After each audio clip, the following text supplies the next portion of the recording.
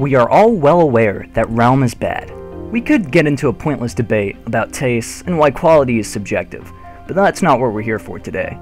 Today, I'm going to mathematically prove to you that Realm 5 is shit. First of all, let's gather some data. We're going to split the movie into two categories, action and inaction. In total, counting credits, there are about 16 minutes and 30 seconds of inaction, which sums up to about 68% of the entire movie. The state is going to become important soon. Now, I know this may sound like a lot of nothing, but we have to keep in mind that Realm 5 is a story-based movie filled with dialogue. With that in mind, let us look at the actual dialogue.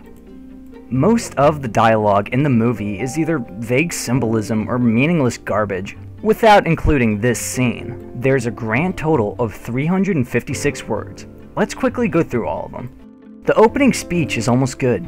It informs us of the names and objectives of the characters, two of which are gonna become irrelevant and die in about a minute anyways. Hinting at maybe actually learning something about the story, not much else. This one on the other hand is fine, it actually shows some character. Now, here's how we got to this point.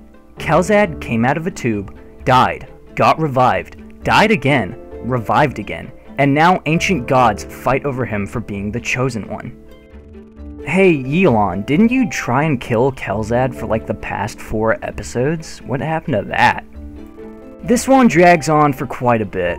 It's basically a mix between the opening speech from Hatred and that one parody verse from Bo Burnham. Elon has an army now? Why? Well, because reasons. You don't have to know everything. With this one again, nothing of actual substance is really said. Bruh. The bad to good word count looks exactly like this. Here comes the action. We're going to do the same calculations, but this time we'll take all on-screen 84 kills from the movie and split them into good kills and bad kills. Well, how do we define a bad kill? Well, like this. This is a definition I created specifically for Madness cartoons, like this one.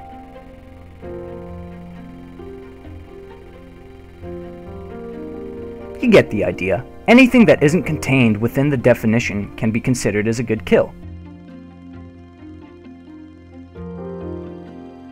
And it comes down to this 40% of good kills. We have enough data to work with now, let's get to it. I've created something I'd like to dub the killer equation.